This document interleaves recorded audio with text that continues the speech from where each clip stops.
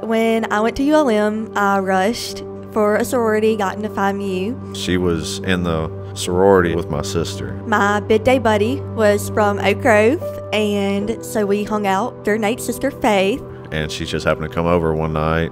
A few weeks later, we started getting closer, and it kind of just fell into place from there. We would go bowling after stuff opened back up. We would go riding around on dirt roads, and we started hanging out and talking, and never looked back from there.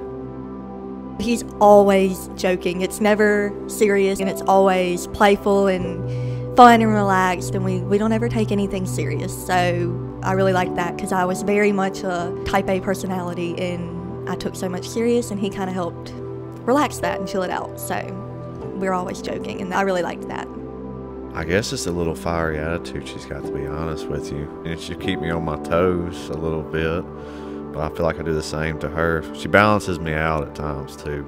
I knew something was different, so couldn't let her go, refused to do it. There was one night that we had stayed in Oak Grove with Faith and everybody, and I, I, don't even remember at this point if we had friends over or not, but me and Nate spent kind of the whole day and the whole night just talking to each other and hanging out with each other. And I think for us both, that was kind of the day that we realized, like, oh, this is something a little bit more than us just being flirty and us hanging out. And we just had some deep conversations and we talked some more and got to know each other a little bit more. And so that was very eye opening, but it almost felt like from the beginning, it just kind of worked out and it kind of fell into place. And that's when I knew. Three, two, one.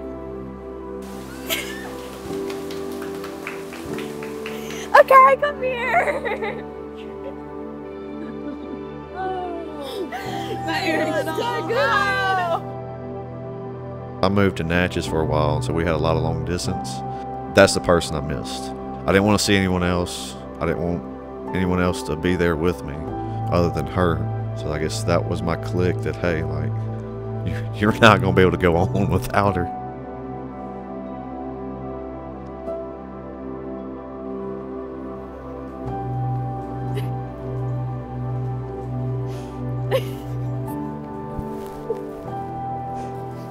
What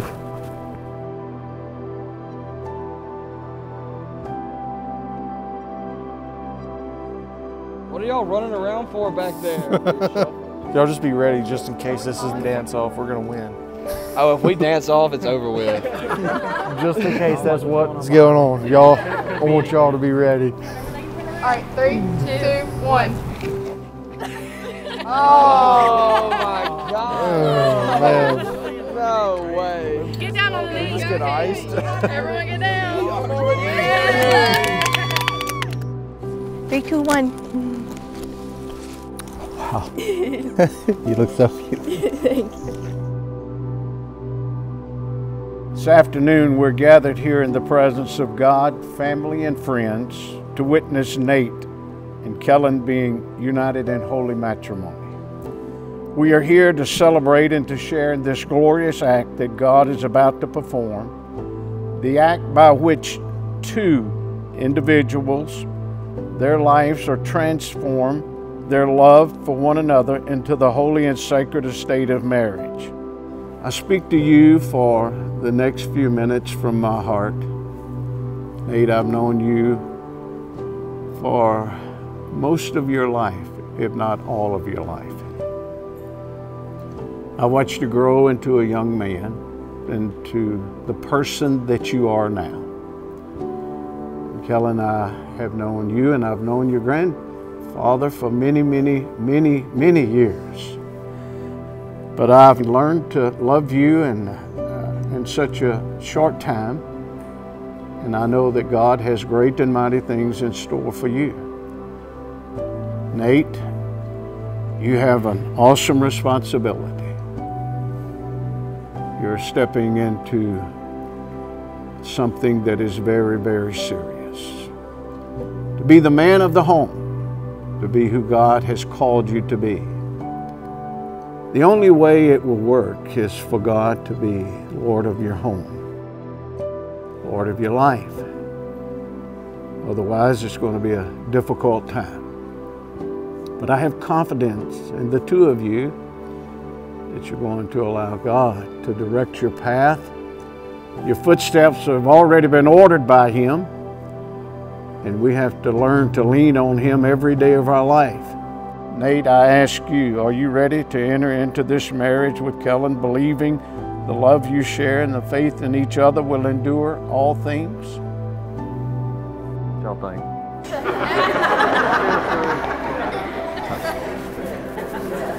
I do. Kellyn, are you ready to enter into this marriage with Nate? Not sure now, are you? I do.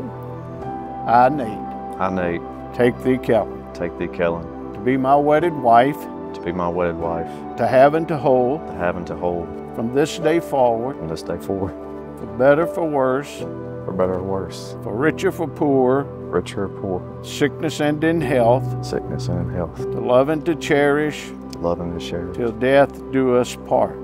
to death do us part. I, Kellyn, I, Kellyn, take thee, Nate, take thee, Nate, to be my wedded husband, to be my wedded husband, to have and to hold, to have and to hold, from this day forward, from this day forward, for better, for worse, for better or worse, for richer, for poor, for richer, for poor, sickness and in health, in sickness and in health, to love and to cherish, to love and to cherish, till death do us part. till death do us part. And that which God has joined together, let no man put asunder. Now that the ceremony is over and the experience of living day by day is about to begin, go and meet it gladly. Nate, you may kiss your bride. And ladies and gentlemen, I now present to you Mr. and Miss Nate You're Jennings. don't know what for. You're turning heads when you walk through the door. But I just wanted to say that Kellyn has been like another sister to me, and I love her dearly. And I'm so glad that she found someone like Nate to so they can take care of each other for the rest of their lives. I love y'all both.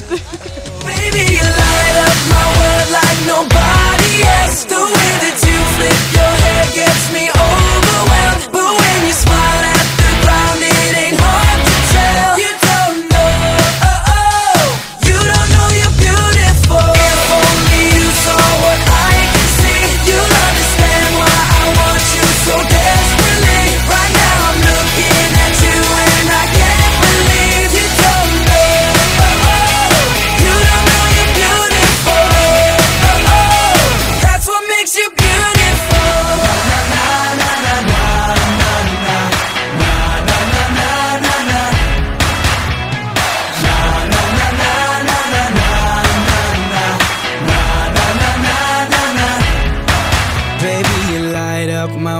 like nobody else. The way that you flip your hair gets me overwhelmed. But when you smile at the ground, it ain't hard to tell.